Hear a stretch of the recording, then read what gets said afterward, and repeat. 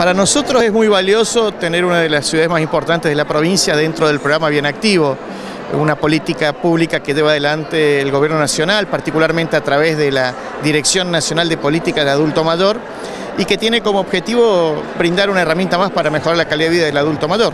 Recordemos que nuestra sociedad cada día tiene más adultos mayores, eh, particularmente la provincia de Córdoba tiene una sociedad envejecida y es fundamental entenderlos como sujetos del derecho y en ese sentido que participen eh, y se integren y tratar de entre todos los actores locales brindarle una vejez digna.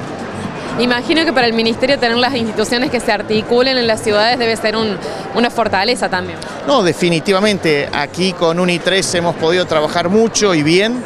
No es la primera experiencia de trabajo que tenemos con ellos y uno queda, queda a la vista expuesto el trabajo que vienen desarrollando porque eh, en esta instancia convocaron a la municipalidad y a dos clubes deportivos aquí de la localidad para hacer frente a este proyecto y tener una convocatoria de, entiendo yo, estamos en el orden de los 90 adultos mayores están inscritos.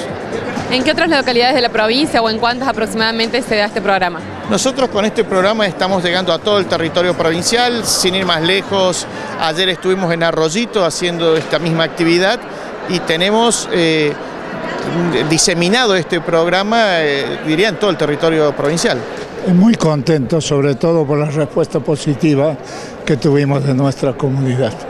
A los medios, invalorable el aporte que hicieron a todo esto. Eh, sinceramente, eh, mi agradecimiento, esto lo estamos haciendo por los adultos mayores, que realmente necesitan un espacio para seguir creciendo como personas. Y con esto que, tanta gente ya se sumó, hay muchísimos inscritos, ya están prácticamente todos los talleres llenos. Sí, están todos los talleres llenos, eh, la gente muy bien predispuesta y en general hemos tenido así una muy buena repercusión. Gracias a los medios también y a usted personalmente.